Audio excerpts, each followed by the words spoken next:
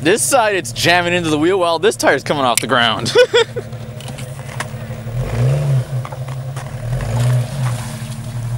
now you're in mud.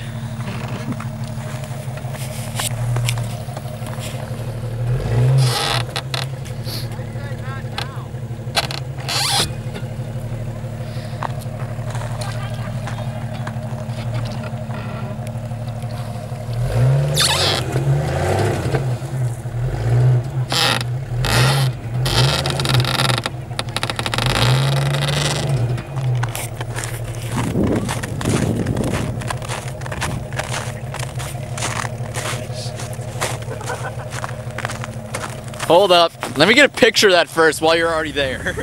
Once you back up a little bit, yeah. I'm one of your local trail guys.